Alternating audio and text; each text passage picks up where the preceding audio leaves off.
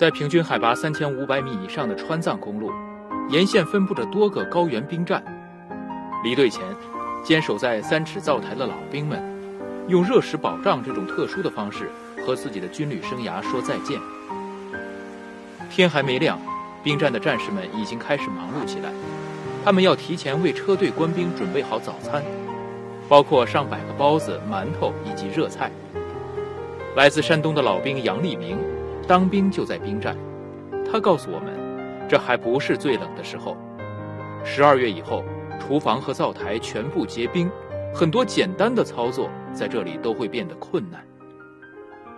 我们这用的是高原特大高压锅，海拔将近四四千二百米，沸点最高只有八十度。天刚亮，馒头、菜粥等已经准备妥当。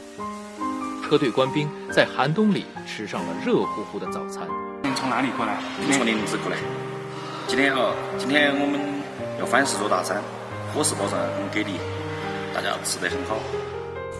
厨房就是站位，保障力就是战斗力。送完车队，官兵们来不及休息，马上要为后面陆续进站的车队准备饭菜和住宿。呃已经这个比赛待了十多年了，呃，还有几天就退伍了。然后呢，这些菜呢，就是我们自己做的。呃，车队官兵来了嘛，保障他们。这些年，随着各级持续加大对高原部队基础设施的建设和改进，高原兵站也变了个样，用电、用水、吸氧、取暖等问题也得到根本解决。净水设备净化之后，水质就就能达标，就能直接饮用了。炊事班打扫完卫生，杨班长返回宿舍时。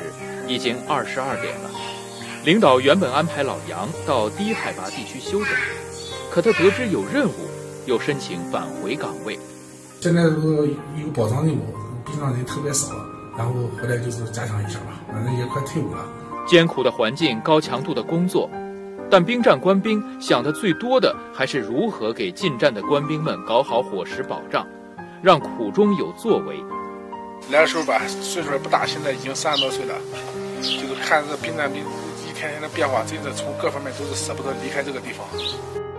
最后一次走上岗位，在站位向军旅告别，道一声珍重，再见，战友。